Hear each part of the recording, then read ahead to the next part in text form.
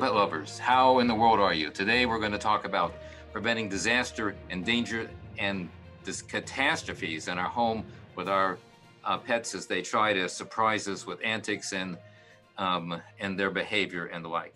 So, dangers in the home can be divided into indoors and outdoors, eating stuff that they shouldn't get into, and extemporaneous um, help, so to speak, or unexpected events from strangers coming to the house, family, friends, neighbors, and service personnel and the like. Um, for example, indoors, you have regularly scheduled people coming to the house. Might be a housekeeper, might be an exterminator, um, could be your best friend coming over for a cup of tea. Ingress, egress from the house, doors are open. Are the dogs and cats safe? Do they have to be put away ahead of time? What uh, type of procedures are in effect? Everything's probably just fine if you are home at the time. What happens if you're not? What happens if you needed to run an errand or you told um, uh, your best friend to come over at noon on Tuesday and you had a toothache over the weekend, got a dental appointment for Tuesday morning, got in and got your toothache, and all of a sudden at one o'clock walking out of the dentist's office, you remembered, hey, I was supposed to meet Betty at the house today for lunch. Maybe that's not realistic about having Betty come over today for lunch in COVID, but you got the point. What happens if um, your son, relative, friend, um, housekeeper that was there opened the front door? What um, type of issues might you be able to prevent? We're going to try to think through those as things come along. You have people coming in like exterminators. Sit down on your list right now and write down the various possibilities of what regular people are um, circulating through the house and what might be a schedule that you can anticipate and share with others that will keep everybody, mainly your pets, safe and sound. You'll have tons of unscheduled events, repair personnel. Will you be able to meet each repair personnel or will you have a friend or neighbor? A lot of times, uh, um, I remember before we moved to Orange, we had a really good neighbor and um, they would be available to have the washer repair person come in and take care of things. And we had to make sure that things were secure for all those because of the dogs and the cats floating around the house. Delivery personnel, sometimes they unexpected, no longer today, but in years past, um, they would shove stuff inside the front door. Could the cat, dog, somebody escape when they do that? Maybe that things need to be more secure. Um, outdoors, service people that are regularly scheduled, pool people, gardeners, a lot of times the pool person or the gardener has their own key, has their own access to the to the pass gate number. And they come in as they please. And they're supposed to close the gates and close the this and close that. And they do most of the time. Every time. I can tell you that in years of having a pool service and in many, many, many, many years of having a, a gardening service, gardeners do not necessarily close every door, every time, every gate, every time, every time they go. Why? Well, they're busy. Um, the main gardener probably will be just fine. They hire people. Sometimes the, um, how do I want to say this and be politically correct? Hmm. Probably can't be politically correct. Sometimes the teenage kids working for them are just clueless, just clueless. I mean, the dogs can be running around. Um, they open the gate, got a problem. Um, so having a schedule that you know is happening, having a preemptive keep the dogs locked in procedure is extremely, extremely important. Meter readers, meter inspectors, these guys don't like to wait at the gate waiting for you to open it. Um, I don't know if you've negotiated that with yours. We tried that when we moved to Orange. That didn't work too well. They were they were in and out and down the street. And when the meter doesn't get read for a period of time, they just automatically decide that you've used about five times more fuel, five times more gas, five times more elect electricity when they estimate that you've used. And your bill goes from, well, pretty good, well, not that good, but um, expected to way, what a big surprise.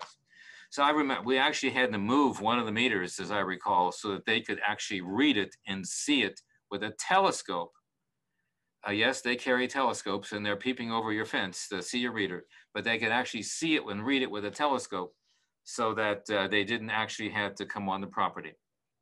Neighbors, wildlife, birds, rodents, opossums, raccoons, time change, weather, plants grow, seasons, foxtails. Wow, that's a mouthful, one at a time. Um, neighbors. Many of us have great neighbors. That's good. I have stories all the time, once a month, of clients with evil neighbors, evil neighbors that um, mess up their fences, evil neighbors that throw things over the fence, um, maybe just not so evil neighbors, but they don't care what falls over the fence. Throw laundry or stuff over the fence, and the and the towels or something comes tripping down into the backyard, and Fido grabs it and starts playing with it and chews it up. And if he's got a history of eating fabric, he could be in my operating room. Not good. Not good. Um, wildlife is continually tripling to the backyard and doing what wildlife does pee and poop. Normally, most of that is relatively benign. Parasites will come from them. Parasites can be treated, not really a disaster or danger. Got to talk about raccoons though. If you got raccoons, I would figure call animal control and get rid of them. I know they're cute. I think they're darling. I remember going to mountain cabins uh, um, and just being delighted when one of them come, would come up to the window and something, and Diane would be throwing them whatever it is uh, uh, and the like. I remember when I was a little kid, well before kindergarten, um, raccoons would invade the garbage cans uh, uh, back in our house at, on Parrish Avenue, and Dad or Mom would wake me up in the middle of the night and um, I don't remember what time it was, but it was definitely they wake me up. We all look, look out the back porch window and put a flashlight on or put um and um, the porch light on and watch them kind of sh- know, play in the garbage and the like. We thought that was great. We had to clean up the next day, but that was fine. Raccoon poop is dangerous. Raccoon poop is dangerous. It's got a roundworm in it that if you eat it or your kids eat it or your dogs eat it, it could kill them. Period. Bad. The only good thing about raccoon poop is that raccoons are kind of clean. You know, they wash their food and all that. But um, they go up in trees and they actually poop in the fork cradle of branches and trees about six to 12 feet off the ground. So traipsing to your property isn't nearly as dangerous. If, if they're in a tree, you got to get rid of them. Trust me, do that now, yesterday. So other things that change in the yard. You've, the yard is just fine whatsoever. Weather, wind. When the Santa Anas blow, it brings all kinds of stuff in the yard. Um, most of which is trash. Most of which is, um, um, but we get these big palm things that weigh, I don't know, I think they weigh 10 pounds. They weigh a whole bunch and a Santa Ana can plant one uh, somewhere not too easily. Uh, the winds and the rains and storms can move uh, some things on your own property into a very unsafe place. The biggest thing that winds and rains and storms, any storm does, is open gates. Storms and weather opens gates.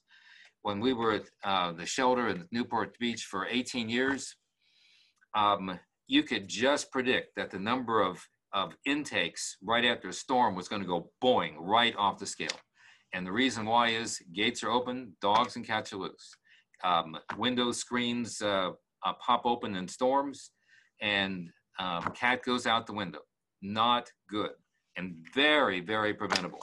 So securing gates and make sure they're locked and, uh, and the like is very, very, very important, particularly um, now in Southern California, the windy season, the Santa Ana conditions are going to come up.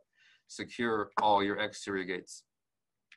Um, Another thing that we've experienced time and time and time again is that plants, you plant plants, you like the light, you like the, uh, um, you like the way they look, you like the flowers, they smell good, they attract butterflies. We're now trying we're now planting uh, milkweed to attract uh, and support the declining uh, monarch butterfly population.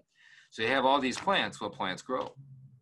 One of the things that um, uh, Diane likes is the morning glories very pretty little flowers. They're pretty prolific. Uh, they'll cover up some ugly fences to kind of make things look great.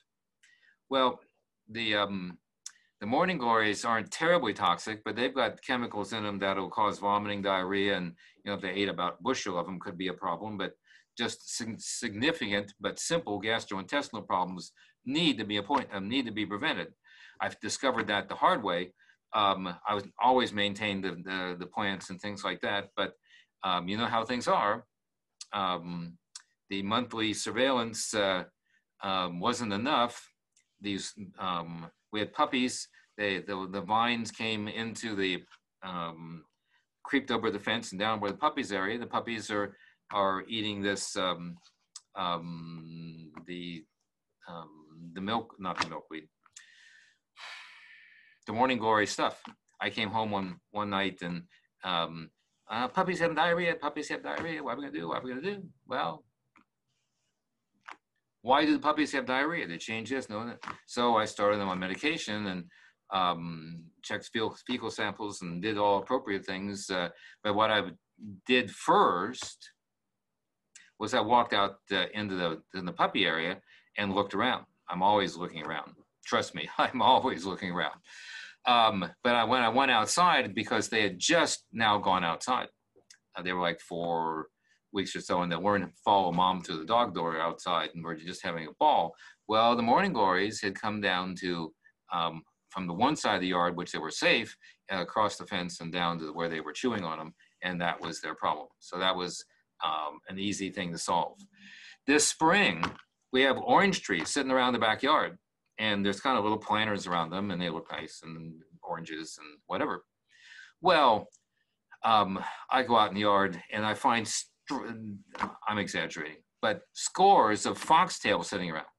Uh, for those of you that aren't in um, Southern California and, and, the West, foxtails are these little plant-awns. They look cute. Um, they look very benign. They kind of look like wheat.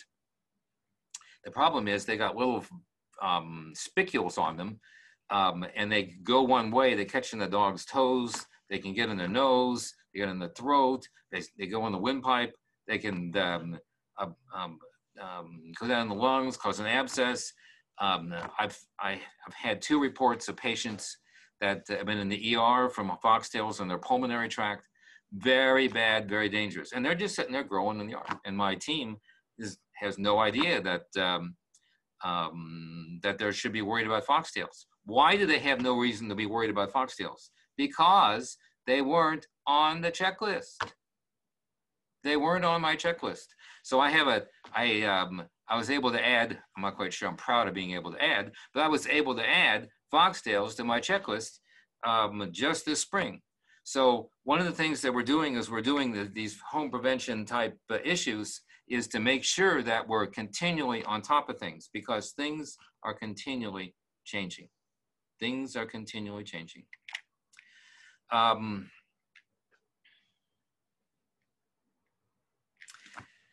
let me check my notes here.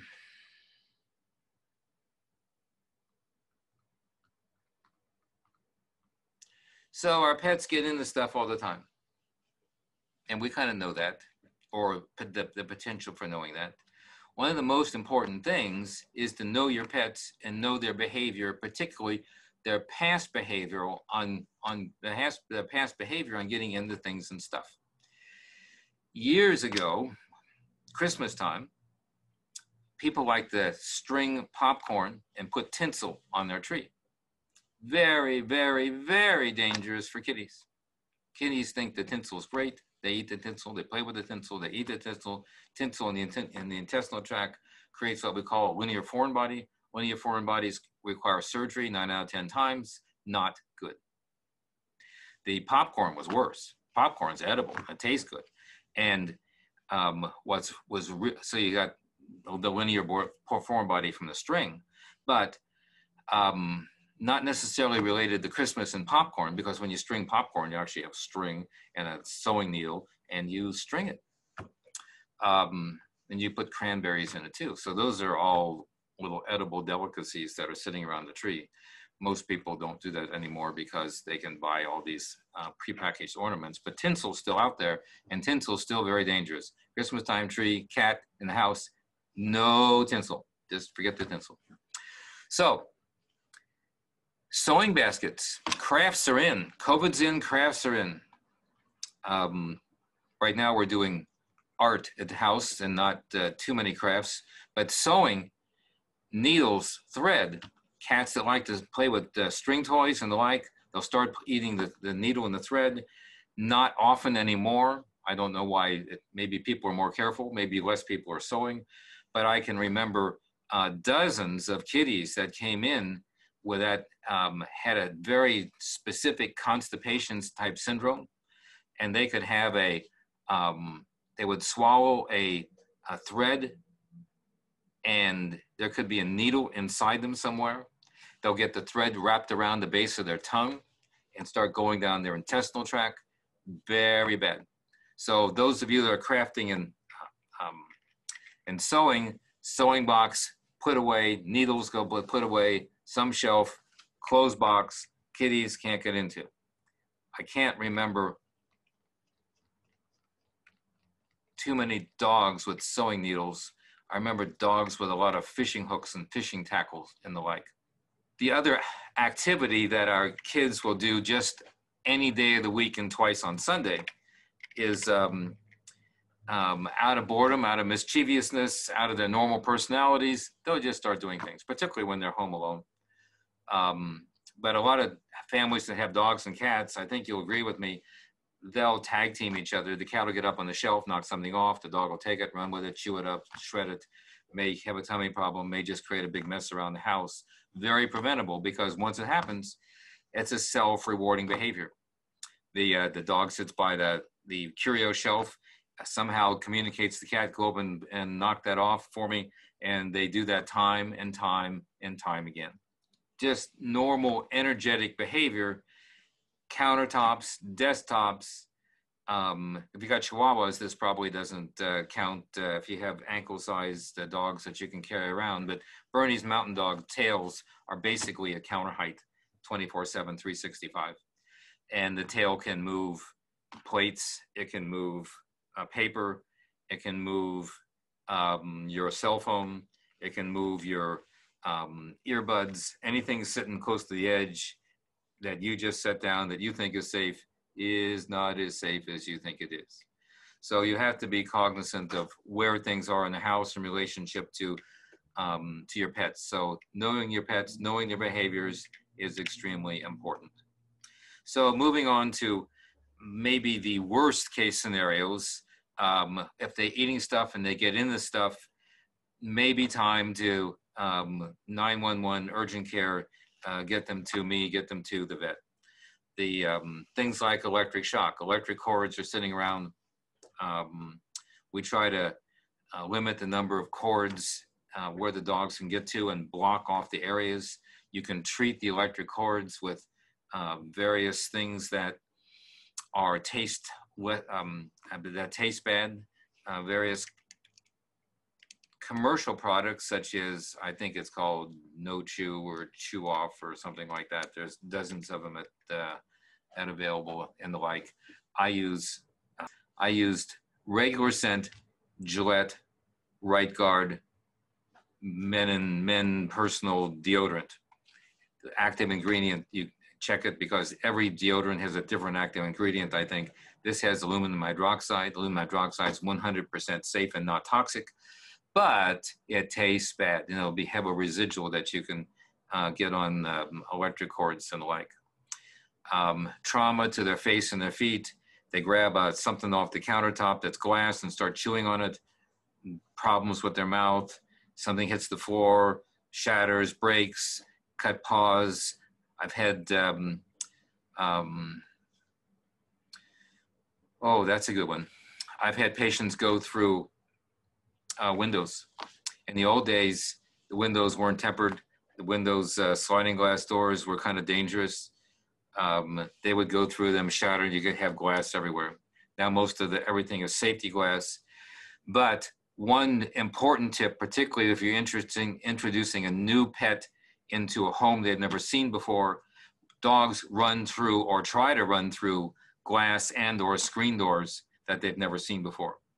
So um, if you move into a new house, new place, new anything, or you're just um, maybe, uh, maybe the dog's never been in the back bedroom before and it's got a sliding glass door.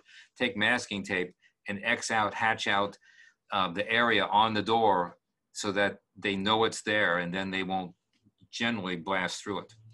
I had a um, um, an interesting experience several, not that long ago. Um, as you know, we we breed uh, Bernese Mountain Dogs, and uh, when they're two and a half, three, uh, um, and are uh, finished with, and they've had two litters of puppies or the like, they um, they generally will be retired into private homes. And so I was um, um interviewing a couple in their home, took the the uh, uh, the girl down, um, doing fine around the house, and when but when I walked in the front door, they had this nice fancy little screen that you touch and it moved over and you walked in the house. And that's how they let me in. And I said, that's not secure. The dog is going to blast through it. Let's close this door, which we did. And um, to make a long story short, it was the third of a series of in- interviews. The dog loved them. They loved the dog. I left the dog with them. So I left. And not 20 seconds later, I heard I hadn't gone I hadn't got back to my car. I was just walking down the street, back I was walking down the sidewalk, back to the car. I heard this clatter behind me, and I don't even remember what her name was. She just blasted through the door and was sitting at my left side. So um, I don't know if if an X on that door would have made any difference, but dogs blast through screen doors all the time. It's not rocket science. They're big. Uh, the screens are not made for things like that. So they ended up getting a one of the security doors and the like, so that they could leave the front door open. And uh, there's a happy ending with that. But um, just beware. So um, disappearing materials around the house. Eat something.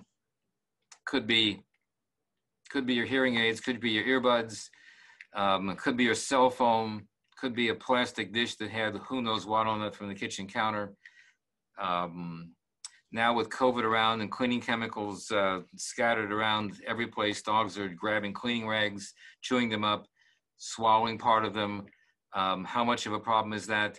Those need to be all sorted out on an individual basis. Call me, call your vet, and um, make sure that the proper um, process and treatment gets instituted. Many of them need to be seen. Some of them need to have their um, um, their stomachs pumped. Actually, many of them they will need to um, uh, just be treated uh, conservatively with fluids or or whatever. I threw an insect arthropod. Houses have insects and arthropods 24/7, 365. I don't care if you're in Alaska in the winter. There's a spider somewhere. Yes and Fido or Fluffy are bound to find it and get it sooner or later. Those um, um, generally are related to big swollen faces and the like, or swollen paws.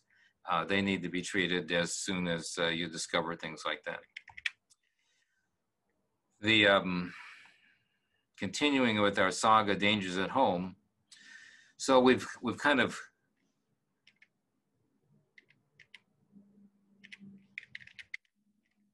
gone through all of those, I have an exercise for you that you'll be able to do in the privacy of your mind right now and then repeat in the privacy of your home. The exercise is very simple. Close your eyes, visualize the first room that you're in in your house. Could be the front door. You could start at the bedroom. Visualize yourself two o'clock in the morning, waking up. Doesn't have to be two o'clock in the morning but we're not talking about a panic exit here, but look around each room. Just visualize yourself in a room and visualize what you think is there. And then in your mind right now, walk around the house and visualize everything that you think is there. When you get home, repeat the exercise in real time from that room and the, the path that you just did right now and see if what you see with your real eyes was actually what you thought was there. I'll be willing to guess that you'll find some things now that you'll want to amend or remend. That's a very good exercise to do at least a walkthrough on a regular basis because what we want to add to your checklist is just that a walkthrough through the house, through the property on a regular basis. I recommend monthly. Um, but very, very important. Don't just put it on your list. Put it on the list and forget it will just be that. You'll forget it. I've discovered that most of these problems are easily solved. Not everyone. You're not going to change the fact that Fido is going to knock something off the, the countertop and when your back's turned with his tail or jump up and steal a beefsteak with a bone in it uh, uh, when you least expect it. But many, many, many, many of these can be prevented. But why most of them are not prevented? Why was my yard full of foxtails? My yard was full of foxtails because I wasn't checking regularly. So I don't think it's out of ignorance. I don't think people are lazy. I don't think uh, um, that's a, the reason at all. I think the main reason that all of these problems can occur and creep up is that we're overloaded with our schedules, we're overloaded with our workloads. It's too easy to forget and put it off. So the solution the solution is to set a monthly reminder. I'm aware of two common ways to set reminders. The old fashioned way, most families had, I'm going to say still have, we still have a calendar.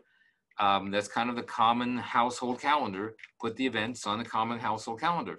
First weekend of the month, whatever is easy for you, Sunday after church, um, put a right walk the property and do that for the whole rest of the year. And then on the first Sunday of the month after church, walk around, but take the dogs with you if you want and see what's there, see what's changed, see if there's foxtails, see if there's stuff that the birds dropped. I get stuff in the backyard all the time that real literally, literally, literally falls from the sky. Just heaven sent it. And the crows and primarily the um, the um, the Amazon parrots uh, bring all kinds of stuff. They like fruit and they drop fruit and the like. I've got I I find pine cones in the middle of the backyard. I've walked the entire area and there's not a pine tree within hundred yards of my house, but yet I have pine cones.